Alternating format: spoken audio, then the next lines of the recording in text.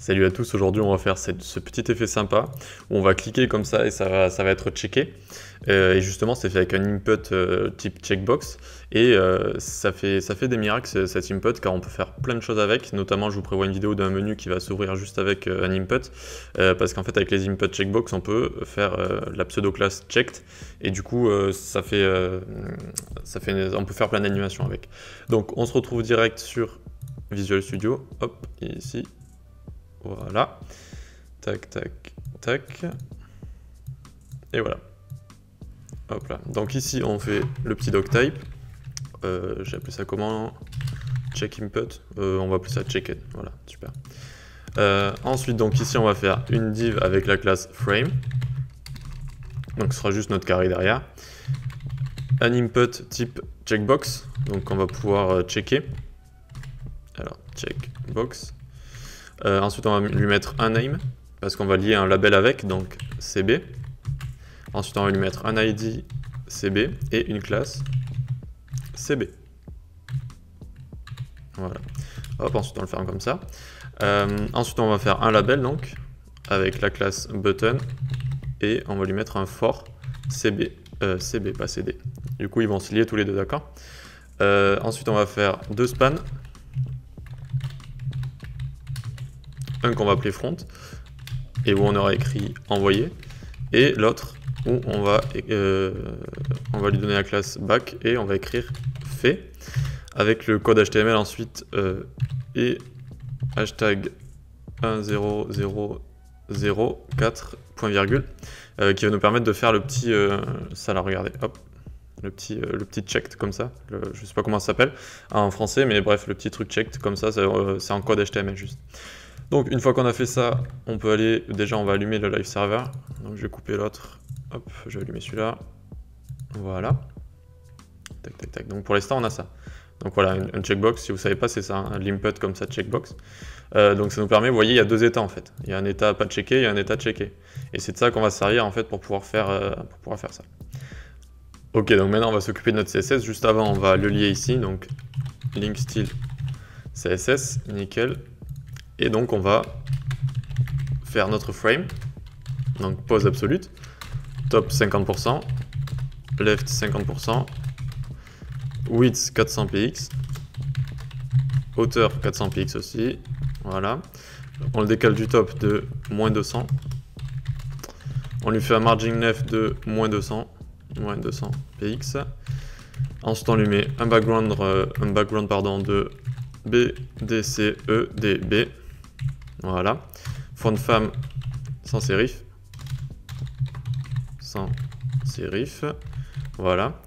Et euh, perspective, donc je vous rappelle, plus le nombre est petit, plus euh, ça se rapproche de, votre visage, plus il est grand, enfin de votre visage, plus ça se rapproche de l'écran, ça fait un effet 3D, plus c'est grand, moins on va voir cet effet 3D. Euh, ensuite donc, on fait disparaître notre petit checkbox, display none. Voilà, on enlève le, petit, le petit checkbox. Ensuite, donc, on va, hop, on va s'occuper du bouton. Position absolue. Display bloc. Largeur 150 px. Hauteur 50 px. On le décale du top de 175 px et du left de 125 px. Ok. Ensuite, on lui met un border radius, un border radius de 25 px. Text align center. Hauteur de ligne 46 euh, px. Voilà.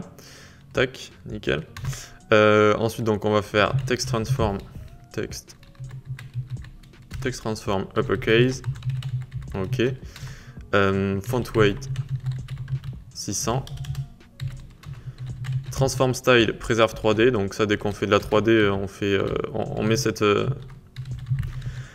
préserve 3D. On met cette propriété qui permet de, bah, comme son nom l'indique, hein, de préserver 3D. Donc quand on va retourner, euh, quand on va retourner notre, euh, notre bouton, euh, ce sera écrit de la, ce sera pas inversé les lettres et ça permet de, pouvoir faire cet effet 3D aussi. Donc si vous voulez à la, fin je l'enlèverai, je vous remettrai pour vous montrer ce que ça fait. ensuite, transition, on va faire, on va tout prendre, on va faire que ça dure 0,5 easy out. Voilà. Le curseur on le fait en pointeur. Et euh, à ce bouton, on va y mettre un box shadow, ça sera, plus sympa. On va mettre 4px sur x, 8px sur y, 12px de flou, 0 de spread, et RGBA 0, 0, 0, 0, 1. Non. Hop. Vous entendez peut-être ma chaudière au fond, non? Normalement ça va. Euh, bref, ensuite on va faire button, point, on va cibler front et back, donc on va faire euh, point button, point front, virgule, point button, point back. Voilà, donc le virgule, hein, ça permet de, cibler plusieurs éléments. Euh, hop, pause ABS, pause absolute. Ensuite on va lui faire prendre euh, toute la place du bouton, donc on va faire pour faire prendre toute la place à un objet qui est en position absolue, on fait top left euh, right bottom 0 0 0 0. Comme ça en fait vu que le 0 il est à chaque corner, et eh ben, ça va s'éteindre sur tout, tout l'élément. bottom et top left, j'ai oublié right. Ensuite, donc, on va lui mettre une color hashtag 3 e Voilà, une couleur sombre comme ça. Euh, ensuite, on va lui mettre background FFF, nickel. Border, on va lui mettre 2px solid hashtag FFF, nickel. On va faire un border radius pour que ça ait cet effet un peu bouton. Voilà. Et backface visibility. Hidden. Nickel. Voilà, donc là ça commence un peu plus à ressembler à quelque chose. Euh, donc on a notre fait qui est devant là. Euh, tac tac tac, on va s'occuper de button.back. Donc on va lui mettre une couleur blanche. Voilà. Un background vert, donc avec le, le quoi, le fait. 64C760, euh, voilà.